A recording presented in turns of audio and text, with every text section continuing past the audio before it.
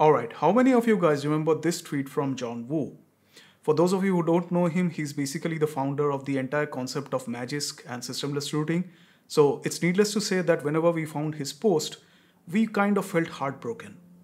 But you guys didn't really think that Magisk would be gone for good, did you?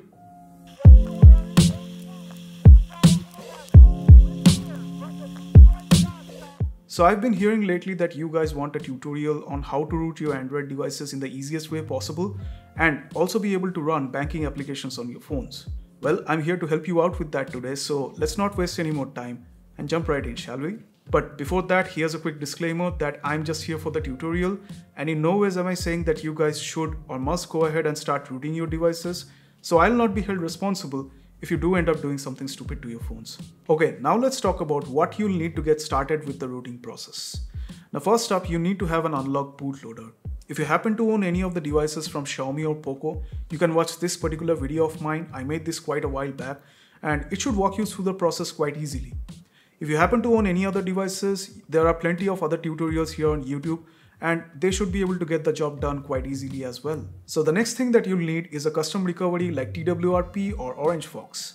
Now, if you're running Android 12 or later, chances are that your internal storage might not get decrypted properly and in order to transfer files between your phone or other devices, I suggest using a USB OTG thumb drive like this one, not sponsored by SanDisk by the way, and you should be good to go.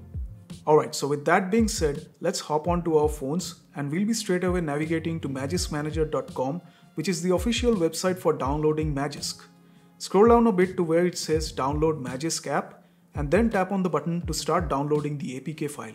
Once the download has completed, head over to your file manager app and inside the downloads folder, select the APK file you just downloaded, hit rename and replace the extension of the file from .apk to .zip. Perfect. Alrighty, now let's reboot our phones and head to our recovery, which is OrangeFox in this case. Now, the version of OrangeFox that I have right here can decrypt our internal storage quite well, so we can easily access the zip file from our downloads folder. But like I mentioned earlier, if your recovery can't decrypt your internal storage, you can always use a USB thumb drive like this one to save the Magisk APK or zip file, and you can always access it through TWRP or OrangeFox by changing the storage option like so. Okay, so now let's tap to select the Magisk zip file that we have right here and we are gonna swipe the bar down below to start flashing Magisk onto our phones.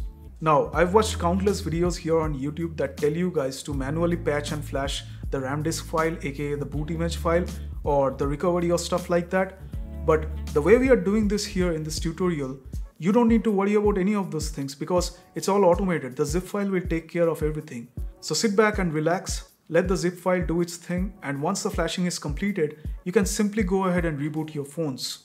So once you have been rebooted, you'll see this generic Magisk app icon in your app drawer. So go ahead and tap on it and it'll open up a prompt like so, to which we'll go ahead and tap OK. Then tap on settings, select allow from this source and then tap on update to install the Magisk app onto your phones.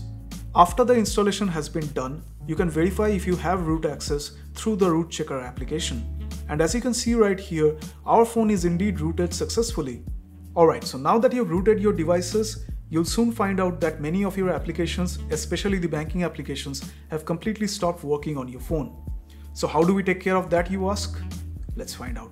So first of all, we are gonna take care of SafetyNet. And to do that, download the Universal Safety Net Fix module from the link in the description below and then head over to the Magisk app. Go to the Modules tab and tap on Install from Storage. Then select the SafetyNet Fix zip file to have it flashed onto our phones. But don't just tap on reboot right now. Hit the back button like so, then tap on home and tap on the settings icon up here. Scroll down to where it's labeled Magisk and here is where you'll find the familiar toggle for systemless hosts. So let's tap on it to have this enabled. Then we have this functionality called Zygisk which is essentially an alternate to Magisk Hide. So let's tap on it to have it enabled like so and also tap to enable enforce deny list. Then go ahead and reboot your system.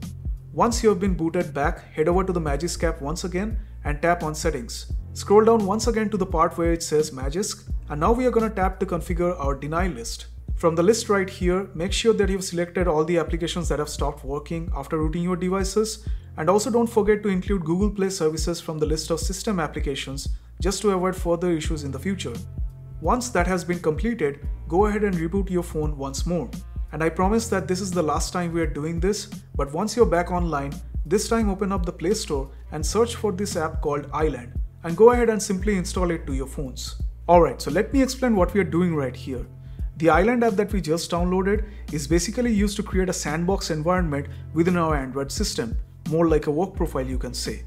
And how it will be helpful to us is basically we can clone all of our downloaded applications over there, especially the banking applications.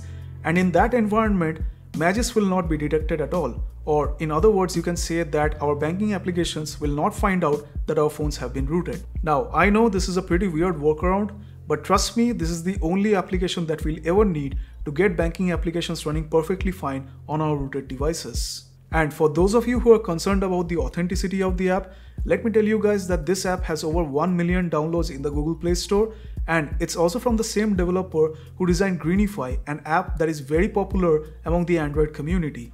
So you should not be having any second thoughts regarding this application.